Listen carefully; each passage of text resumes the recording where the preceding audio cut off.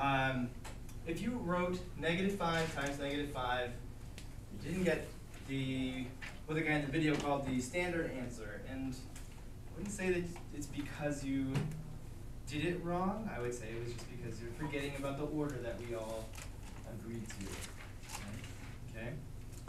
Uh, what we should get, the standard answer would be, following the agreed upon order would be negative five times five, right? The negative result of five times five. Take five times five, and whatever that is, slap a negative on it. Okay? Um, let me put this to you. If instead of this being written, there was this, do you think that there'd be less of this?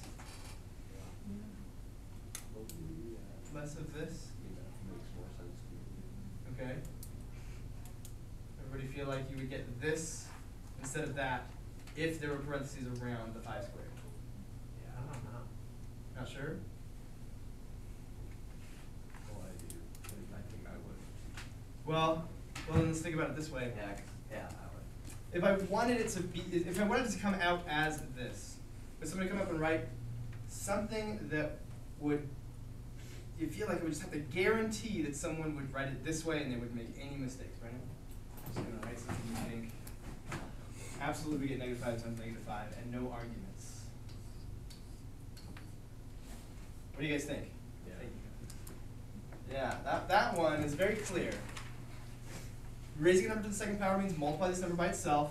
The parentheses around negative five make it clear that I want negative five times negative five, right? I think there just would be worldwide very little argument if we just put this to the internet, right? We said, what is this? Okay.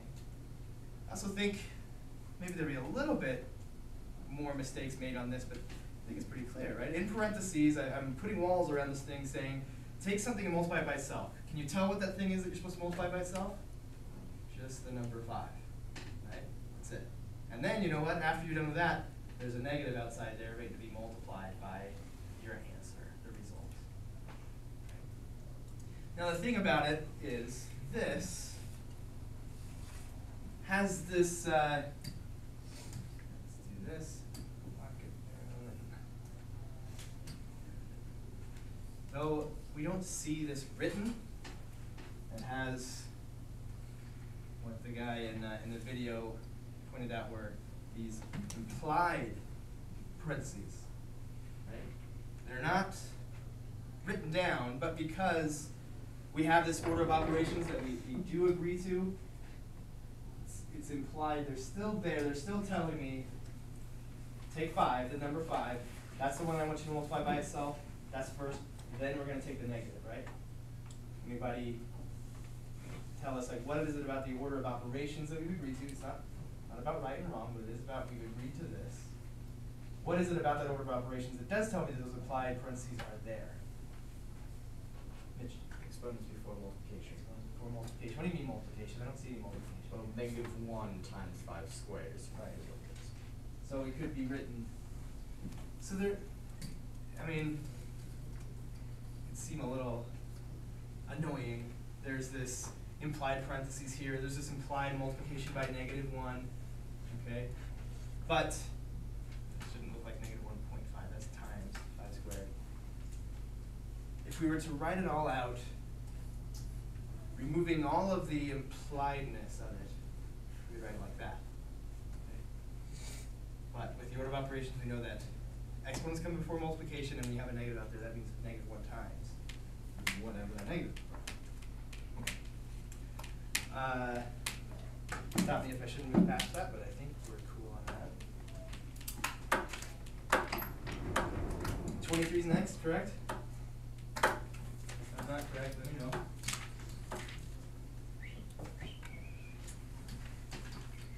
Fourth. X cubed. We're gonna evaluate it for x equals negative one, means we're gonna plug in negative one for x. Okay, what is x? Don't tell me negative one, what is x? Like conceptually, what is x? Unknown. An unknown value, right? X stands in the place of a number that's supposed to have stuff done to it, right? stuff is supposed to happen to this number, x is standing in its place until that number shows up. I guess you could think of it like that, okay? So negative one is supposed to come in here and have all the things done to it that x is having done to it, right? Something that's really gonna help, help you not make as many mistakes when you're substituting, especially with negatives, is if we use those parentheses, right? Let's forget about the implied parentheses, let's actually put the parentheses there. So what we have is two times some number that's raised to the fourth power. Right? Now the parentheses make it more clear, like something goes in here, I'm gonna plug something into that spot. And then here we have negative, or, yeah, negative four times something that's raised to the third power. Now what is that something? Negative one, right? That's what the, I guess you don't have your books open. Yeah, it's negative one. It says to evaluate it for x equals negative one. When I have those parentheses there, it makes it harder for me to make mistakes, particularly with negative numbers. Um, so I look at the negative one. What should I, should I multiply by two? Or should I raise it to the fourth power? Which one is it? Exponents come first, per the agreement. So two times negative one, negative one, maybe you can do this in your head, but I'm just gonna write it all out. Yes, four times.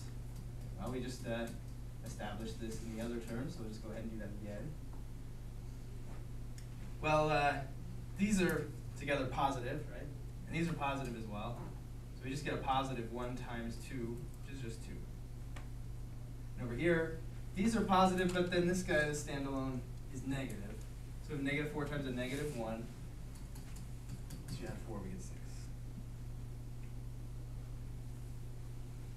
So if we put parentheses, just take x out and put parentheses there.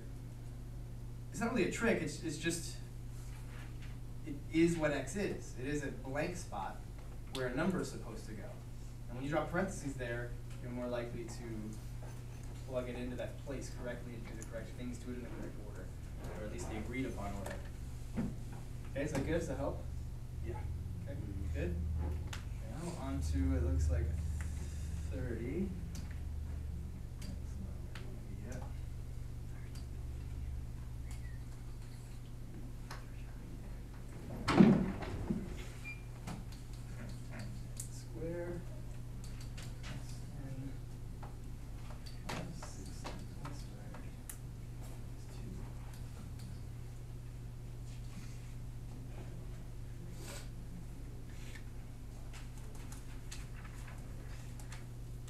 So there's a property that we're supposed to use that we drew a picture of, right? To, to display how this property works. What is that property called? The distributive, right? That's the distributive property is at play here. You guys remember the picture that we drew of the rectangle that showed you distribution? Why a number distributes across parentheses? Okay. So the ten is supposed to distribute n squared and the n. So ten times n squared is ten n squared. Ten times n is ten n. Now we have a negative six times this parentheses. Keep in mind, mm, if I were to just kind of circle this thing and circle this thing, you know, one thing, right, in this circle, and this other thing, this other unit, this other term in this circle, what's happening between these two groups of things? What operation is happening between these two groups of things? I'm taking this group and I'm multiplying it by that group? Oh, no, sorry, I thought you were talking about the six. Oh no, I'm talking about like I got this circle here, this circle here, so I've kind of broken it into two, like the whole thing is broken into two pieces. How are these two pieces going to be put together? Taking one and raising it to the power of the other, and adding them, and multiplying them, dividing them, what's going on between the two? What's that? Uh, yeah, if I, maybe if I cut out the negative there, but really, since I'm including the negative in that circle, I would say run the addition fraction. And the reason why I'm pointing this out is because it's a really common thing to uh, get caught up in the distribution and then wind up multiplying these two groups together. Like once you figure out what each group is worth after you've distributed, it will wind up multiplying them together. So be careful that you don't do that. This thing, this number, plus this number. If this number comes out negative, we're going to be subtracting. If it comes out positive, we're going to be adding. Right? So, we can just put that right away, plus this other stuff that comes out of this distribution. So we get negative six times n squared, we get minus six n squared. Again, negative distributed to the second term as well, not just the first one, but the second one as well. So we get a plus twelve.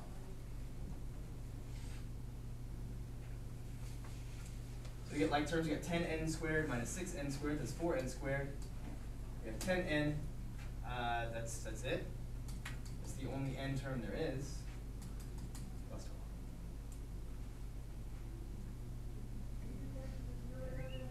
How about this, put four n squared plus ten n is fourteen n to the third? Is that gonna work out?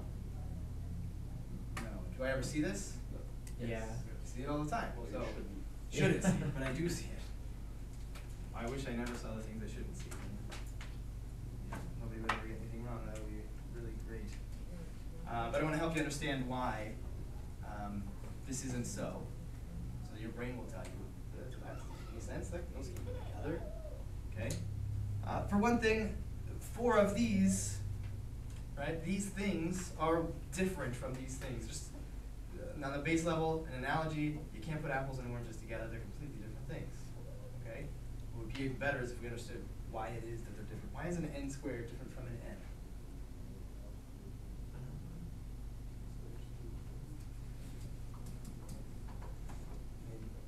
Why are they different? Why can't I put these together? And get, well, I'm just addressing the n squared and the n, right? Well, they, okay, they look different, alright? But I mean, uh, four n plus two n, that is six n, right?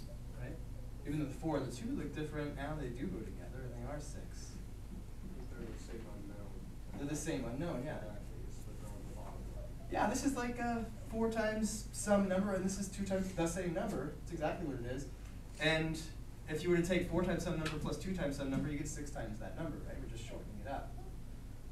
But that's not the case here. This is not the same number as that, so we can't just say fourteen of some number plus ten of the same number. It's not the same number. It's a completely different number. Also, if we think of them as more abstractly, they're just not the same thing.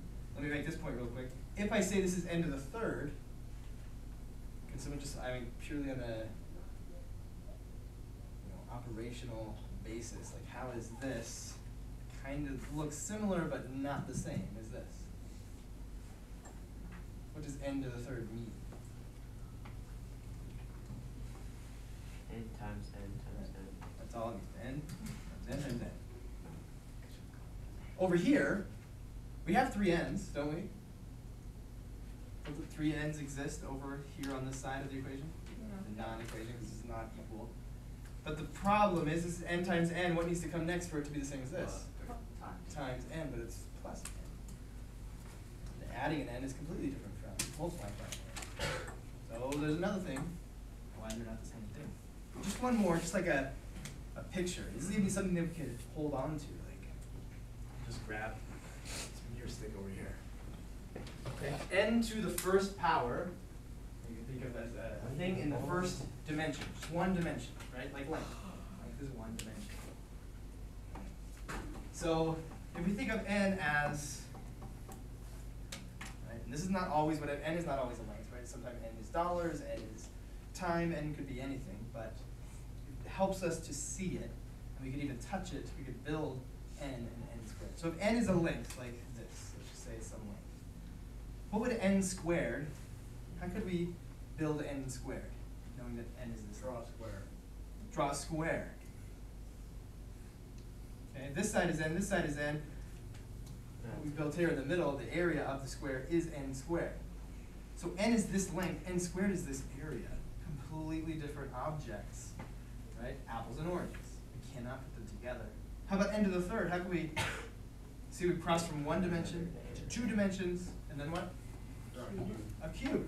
Right? We got this n times n, get this n squared on the face here. And give ourselves a third dimension, another n, and this whole volume thing is n cubed. Right, The whole thing's cubed inside. Now, this is a helpful picture up to n cubed. Because how would I do n to the fourth? Draw a fourth point to object. Yeah, how do we do that? I'm Not Something on the cube. Yeah, drawing things and, and visualizing things beyond three dimensions is very difficult for the human mind. to do, right? So I can't keep showing you what these things look like, but I can show you for the first three dimensions. This is n, this is n squared, this is n to the third. We cannot add n squared plus n to the third. They're two different things, apples and oranges. Or this is already apples, so this is oranges and bananas. You can't add those together. Right? Completely different. Apples, Two dimensions, and three dimensions. Right? Um, so they're literally in different dimensions, and uh, it'd be difficult to interact with something that's at a different dimension than you are, right? Yeah. What's going on for these guys? They are on different dimensions. It's hard for them to exist in the same place. You cannot put them together in the same dimension. All right. So that's that. Just making a point about like terms, really, right? That's all I'm talking about. I'm talking about like terms. Uh, and number fifty, before we're done. That's the same thing, but let's do it real quick. Just a little bit more complex.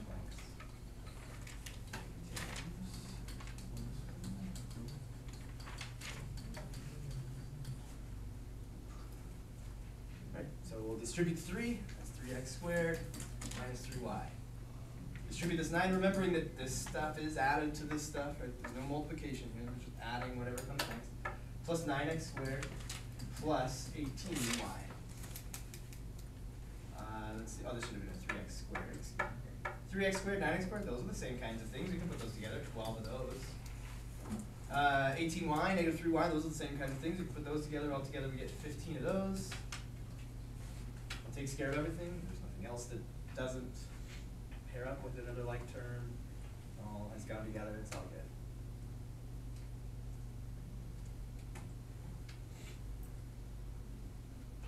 You good? Are there any questions, more questions? Then, uh, what we're saying, if we have no questions, is, uh, assess me on the, the stuff that we just had homework on, cause I feel like I'm an expert, I feel like I can blow this thing out of the water, make no mistakes. Right, if that's the case, if you feel, like an expert, then pass your homework, if you want your homework, make sure you have a piece of. Okay. Write an expression that represents this situation where uh, we're trying to find the area of some square. We just don't know that square is.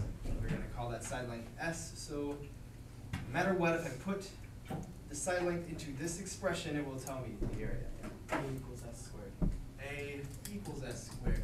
Even if you don't have A equals, you just have S squared, that's fine too, right? That's an expression. What you have here is equation, okay? I'll make the, I'll express the difference between these two things repeatedly throughout the year, but equation, cover this up right here, you just have an expression. That's an expression, that's an expression, put an equal sign, that's an equation. Yes? So just S squared is cool? S squared is cool. A, just A is not. The reason why S squared is cool is because I said expression, expression Not equation. is not. It's, well, yeah. You do have the expression there, right? Both sides are an expression. An equation is just something that takes two expressions and says they're the same. Uh, So on either side of an equation, you'll always find an expression. All right, any questions? All good, here we go. We're going to uh, simplify, which another uh, different kind of instructions could be collect like terms, right? Collect like terms. We went into, you know, almost ad nauseum to the point of making you sick. Uh, what like terms are and why not like terms are not like terms. Uh, I'm just gonna start with the highest power, but if, if they have it in a different order, but all the terms are correct with the correct, uh, signs on them, then it's fine, right? Because two plus three, three plus two, if I change the order, that doesn't matter. So I'll start with the highest power of three. There's no other like terms with that, it's the only one in the third dimension, so it will stay alone in the third dimension. These are both on the second dimension, right? These could both represent areas or uh, seconds squared or something like that. So uh, we can put those together, we get negative two of those. And then I cross them out as I collect. This is the only one in the first dimension. Right? and here's the only constant around.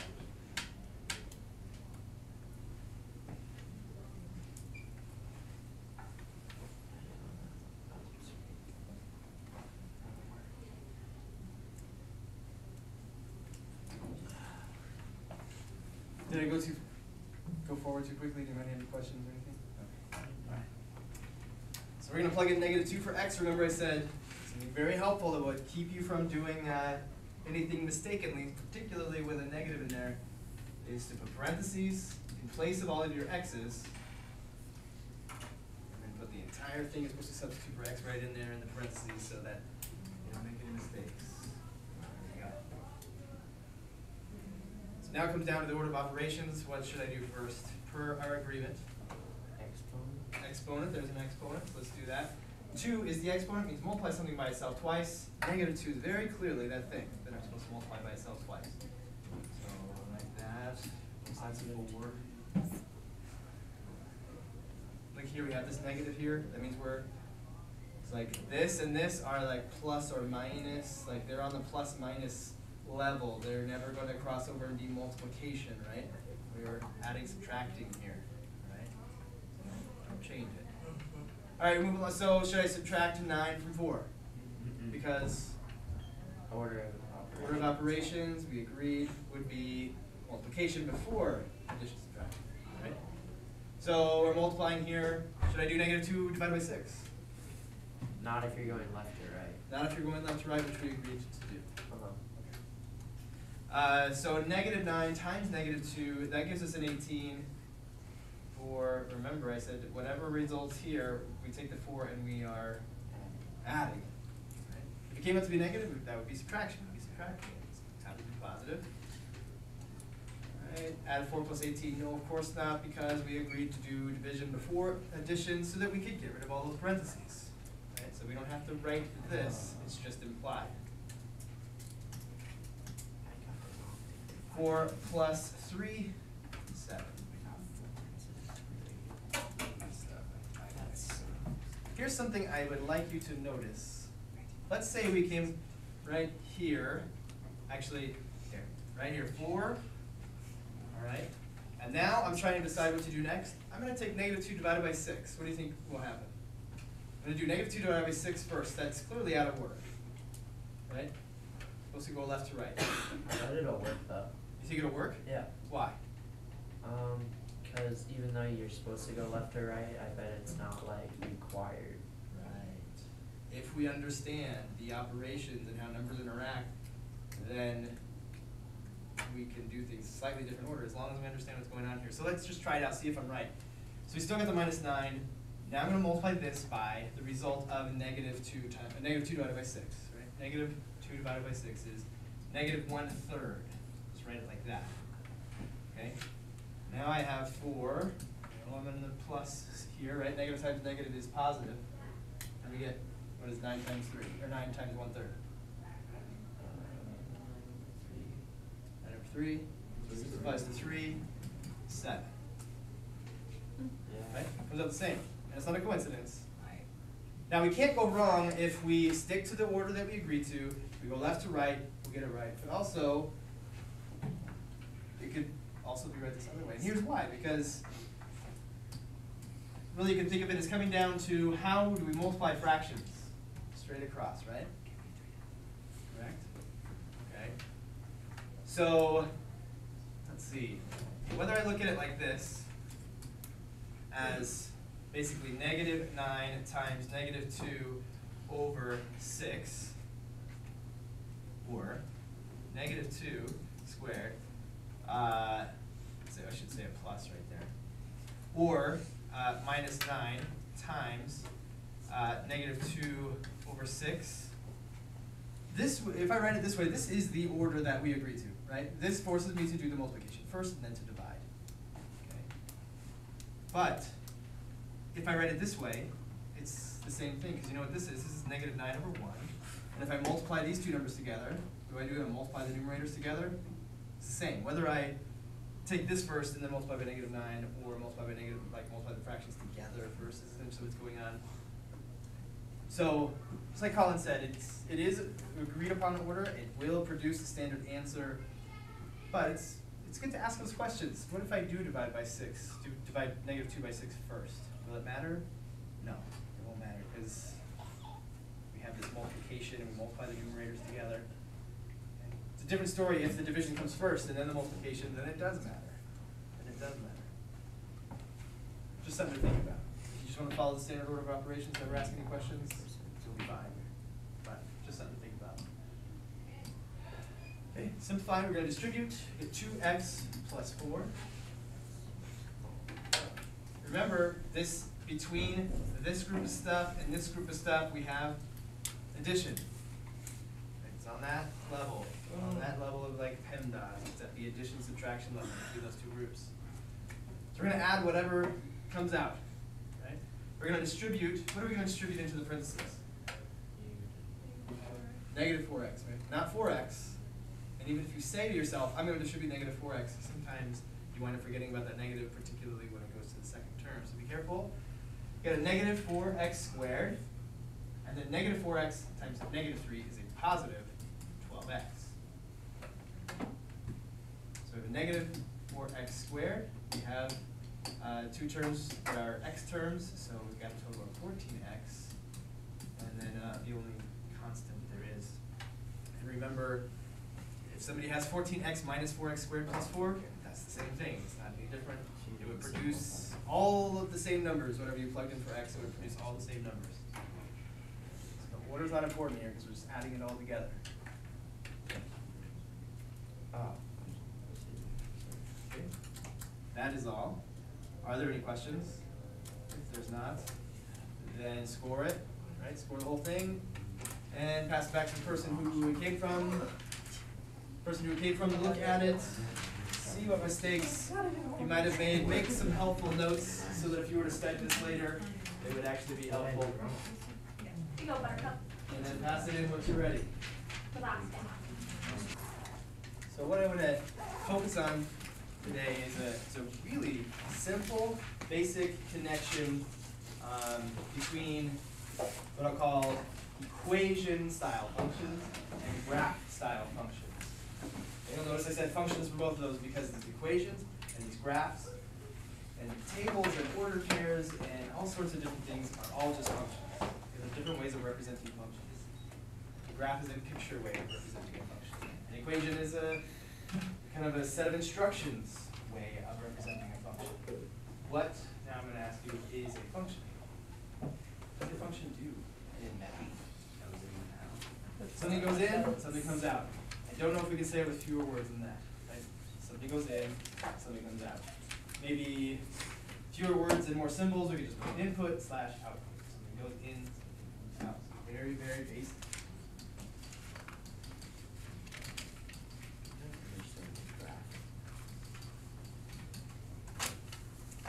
So in math, we're, we're familiar with functions. We'll look at some functions. We'll work with functions today. Uh, there are some functions we can spot that, that fit a mathematical definition of a function, such as uh, the vending machine. Money Vending machine, do they function? In, Veggie out. chips out. Veggie chips out after what goes in. Instead of M and M's now. Right? The input is kind of twofold, where there's two parts to it. The correct amount of money and Your the snack, beep boop, right? You gotta get the your snack number. You gotta put the snack number. So you gotta have the right amount of money, you gotta put the beep boops in, Couple so that they are the correct beep boops, and then it gives you what you want. Okay? Um, what other real world things fit the mathematical definition of a function? Uh, like ATM. ATM, Save- put your card in, you gotta put your ID, you gotta tell how much you want, you have to have that much, and then you get it out, right? But some, Some beep boops. Some amounts of, some beep boops, but that was the min Don't skip that step. Yeah, Bryson. A gas pump. The gas pump, Oh. right? You input your card and out comes gas, right? Very simple thing.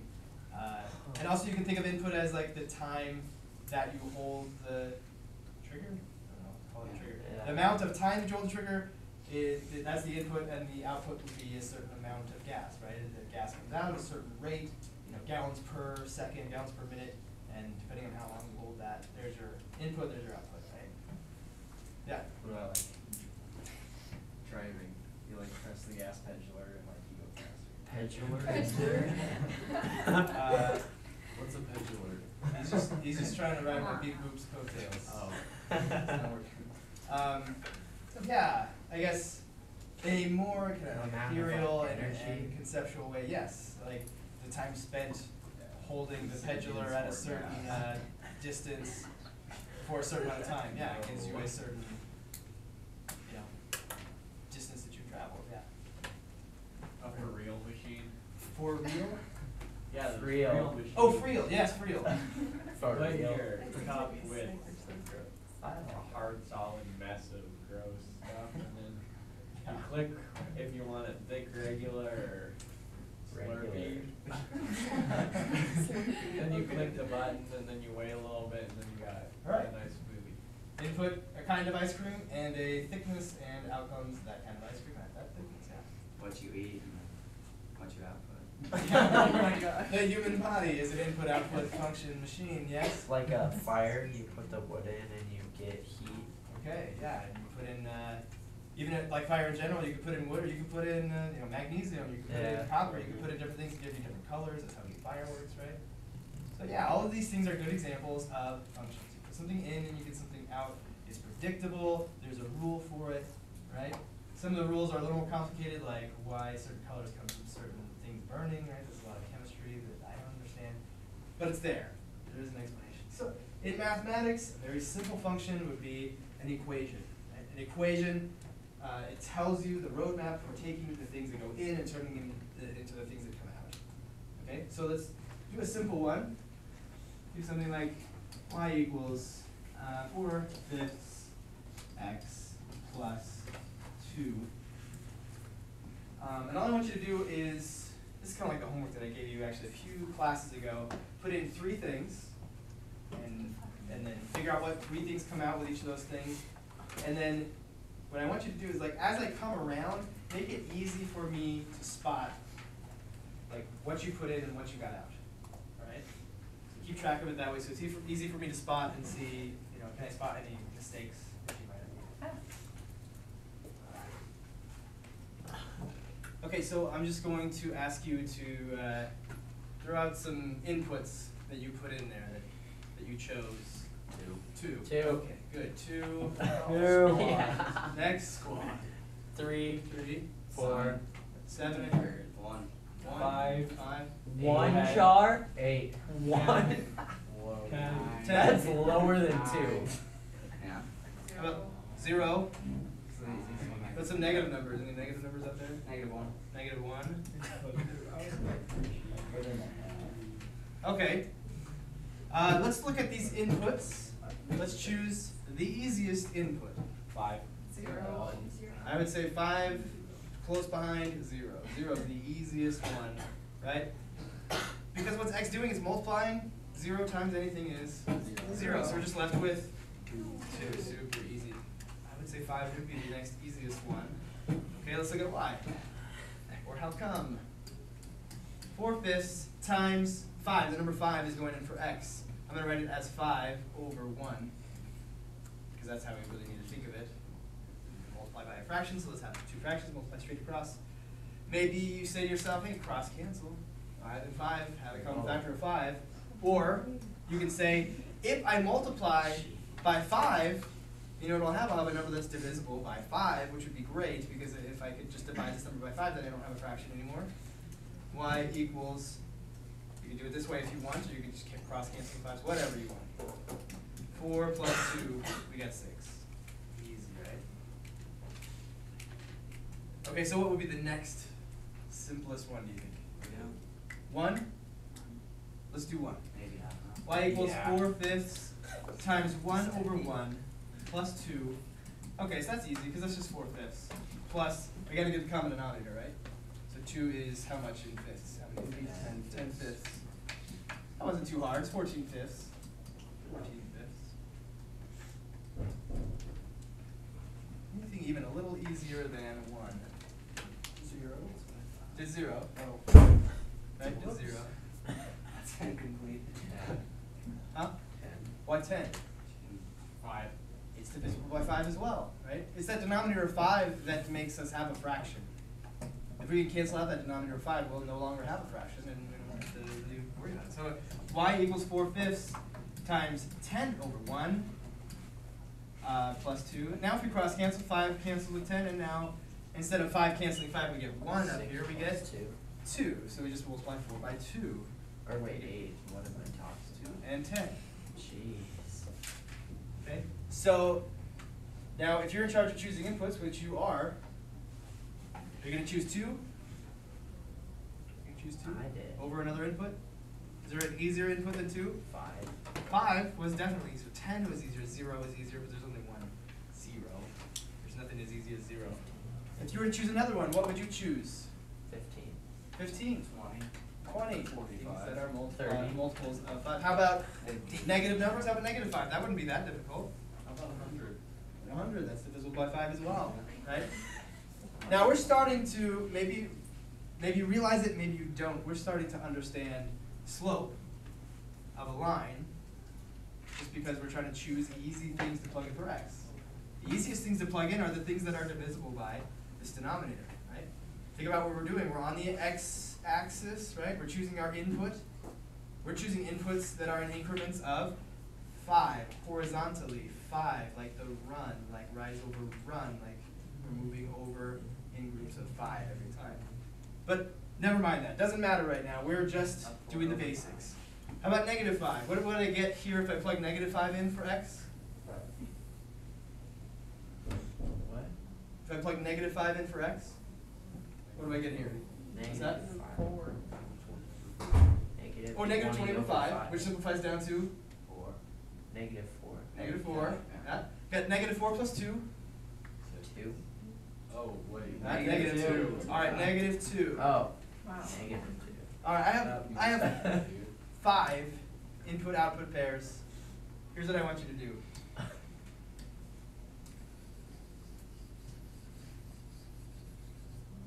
First, I want to point out, look, this it's just this table here. It's just a way of keeping track of the inputs and outputs. Right, that's it. Uh, there are lots of ways to do this. There are as many ways to do this as you can think of. If you can invent a new way that is different from this, I mean, just putting like a an outline around this. Now it's kind of like spreadsheet style. It's very similar, but you know, slightly different. We could do ordered pairs. Right? I can go instead of 5, and then on the other side 6, I can just put in parentheses 5 comma 6. Right? They go in order, x, y, alphabetical order, x and y. Uh, I, could, I could write a 5 here, and a 10 here, and a negative 5 here, uh, and a 0 here, put a 2 here, negative 2 here, uh, 6, and a 10, and then I'll just draw arrows.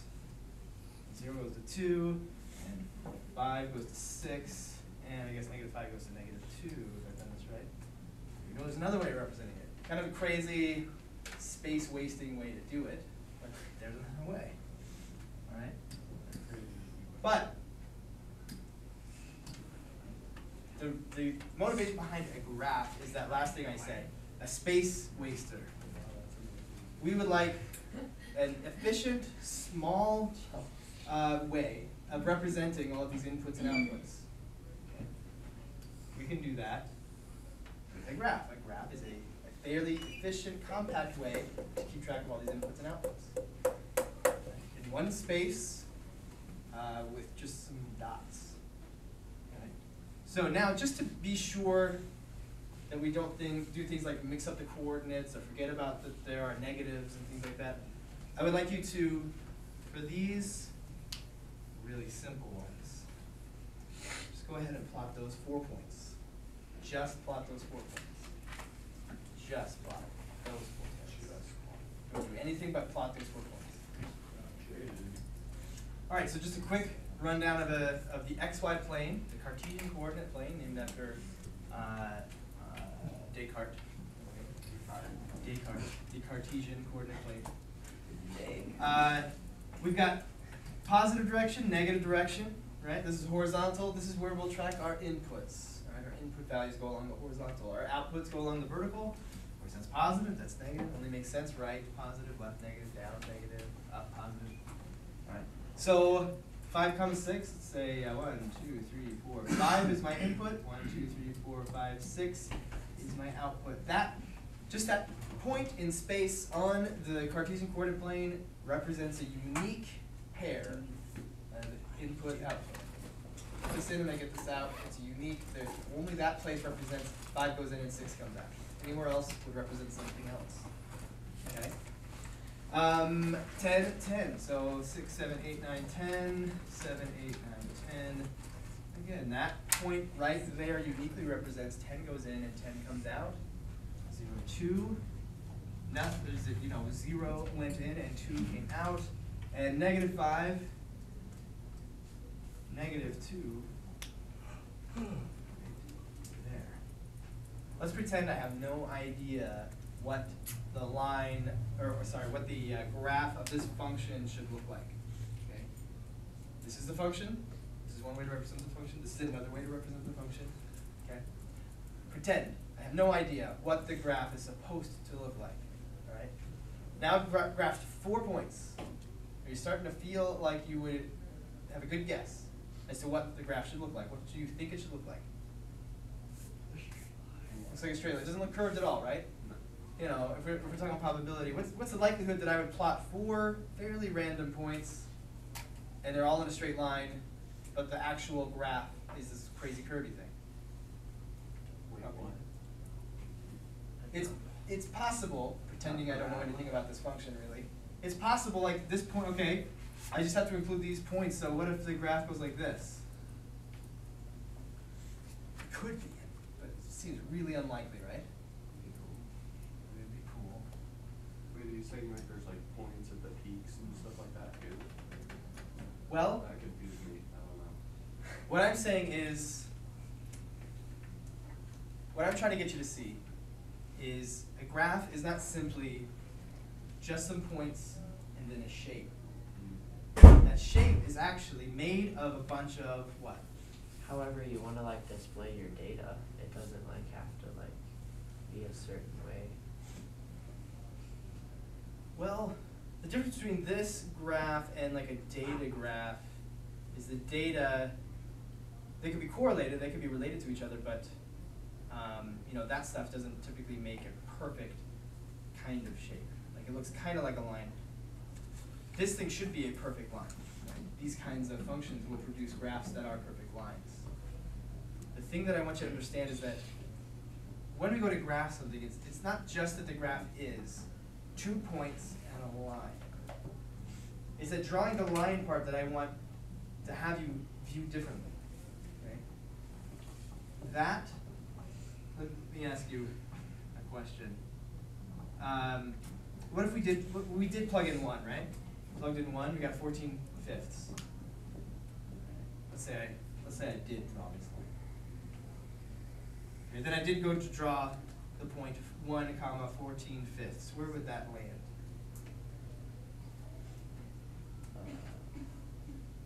Almost One, three. One and two, four fifths. Yeah. How uh, about in relation to the line that I've drawn, where would it land? On it or not on it? On it, but barely. Well, it should be on it. Yeah. Okay? Here's what I want you to understand. If you go about graphing more and more and more points, let's say I graph a thousand points. What will those thousand points start to look like? A line, that line that I just drew, right? If the graph of this function indeed is a line, which we, we may happen to know that it is. The, the graph is not a line. A graph is a collection of all of the infinite number of points representing inputs and outputs. Does that make sense? If I did, did billions of inputs and got all the billions of outputs and graphed all of those billions of inputs and outputs that would fit like on this screen. I'm talking, I'm not talking about going out to a billion, I mean even incrementally in between zero and five. All those billions of points would start to mush together and squish together and get so close together that I couldn't even distinguish spaces between them, and then they would start to look like what? A solid line. That solid line that I just drew up there, right? That's what a graph is, It okay? makes sense though, like, So Particles. I want to break you out of the mindset that a graph is a that, that a function like this, an equation style function, has a graph associated with it that is just the shape it's supposed to be because of I don't know something that I've memorized and I remembered correctly. If you know nothing about a function's graph, if you don't know anything about it, you have no idea what it's supposed to look like. Can you start to get an idea of what it's supposed to look like? How? How do you get an idea of what the graph is supposed to look like, even if you have no idea what it's supposed to look like? Plot. More points. Plot points, plot points, plot points, plot points. We plotted four. Pretty confident that any more points that we plot are just gonna land on the line that we could connect between those four points, right? Once you start to feel pretty confident that your graph looks like whatever, it looks like it's starting to take shape, that's when you just say, I don't wanna graph billions of points, so I'm gonna draw this shape, shape being my guess of where all of the billions of points would be, right? So is it supposed to be a straight line? All This, in this case, no, not all functions. In fact, if we were to break it into like percentages, a very small percent of, of all graphs, functions come out to be straight lines. That's a good question. That's what I was gonna.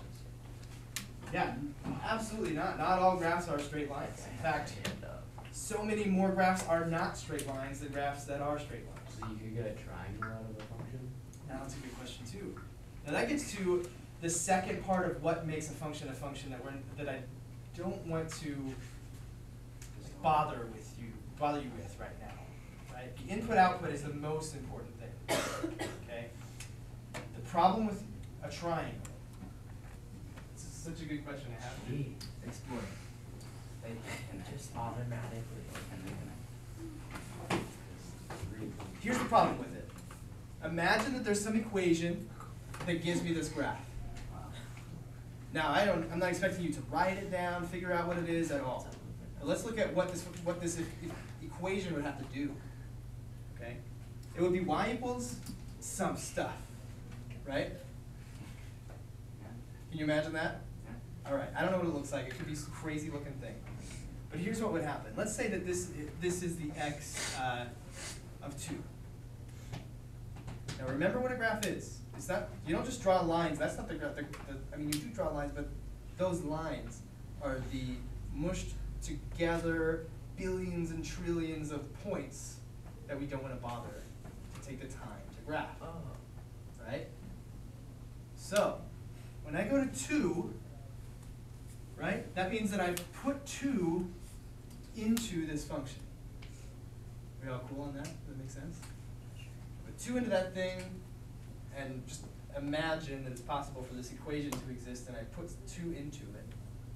Alright, so let's come over to the graph. Let's see what happened. When I did all this stuff that I do with this equation, what did I get out? Three lines. Well, when I put in, remember, when I talk about putting in one thing, like putting in negative five, putting in zero, putting in five, putting in ten, I just get out one output. And that input output is represented by a single point. Okay? So when I put in specifically two, what does it look like I got out? Just guess. You should get a point, right? That point represents what you get out. Brendan? You should get like a positive two and a negative four. Okay, so that's your guess is two, so you're saying there looks like the point, Positive that's two. associated with x is two, and there looks like another point that's associated with x is two. And so it looks like two and, that's the important part, negative four. Two and negative four. Can you think of anything that you can plug in a number and get out two numbers? Yeah, multiply it and divide it and. and- Here. It's okay. I mean, you make it up.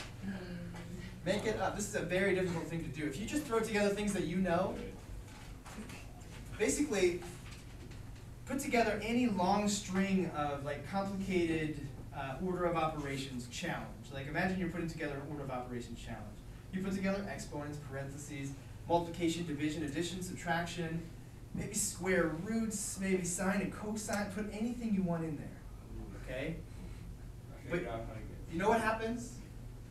you do all of that computation, you know what you come out with? A number. A, a single number. Two numbers? When I square two, do I get two different numbers? No. No, I just get four. And when I take that four and I add seven, do I get two different numbers? No, I get eleven. You see what I'm saying? Through a process of mathematical operations, how are you gonna come up with two different numbers? if you have something like this divided by two equals x minus four equals y, then you can get two different numbers. Ah, Kelly. okay. Keeping it, si- uh, you, you got a good point there. What? But What did he say? keeping it simple, meaning that I have, this is y, this will be my output, and the only thing over here is one letter. Make it x, make it h, it doesn't matter, but only one.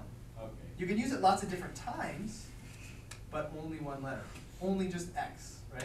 You only replace one thing, like just x, or just h, or not h and x, and that, that causes issues.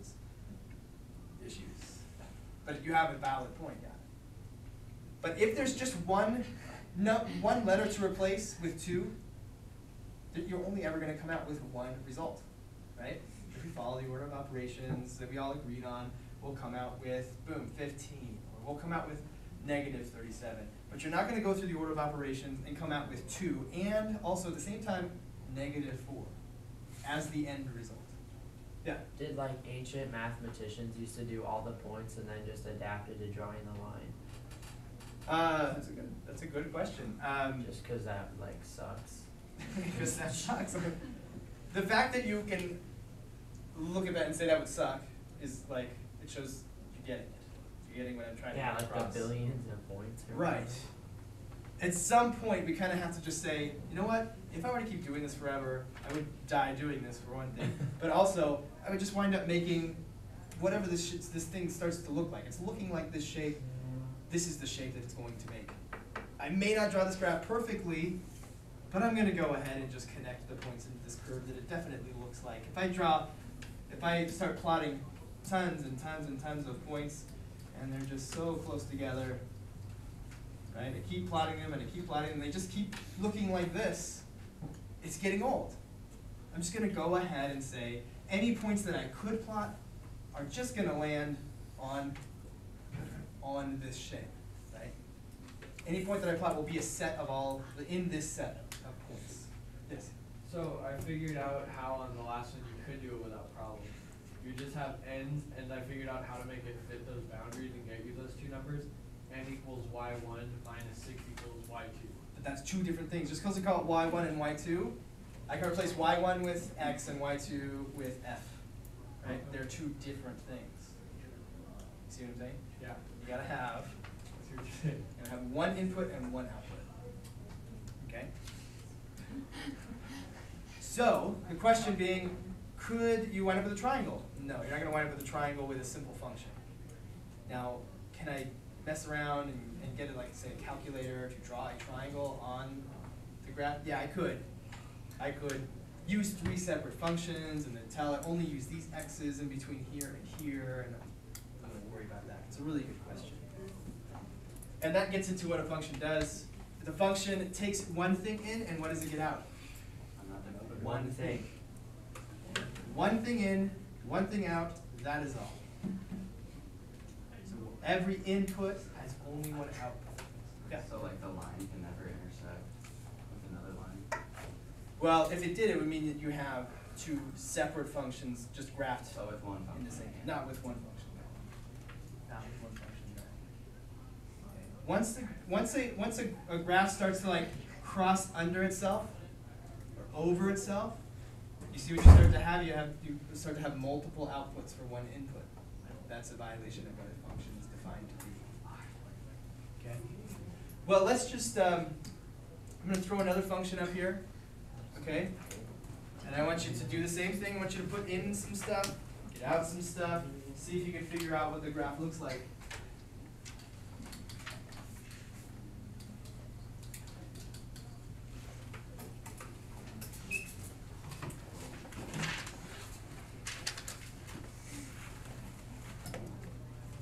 So, trying to do this in an abbreviated schedule here.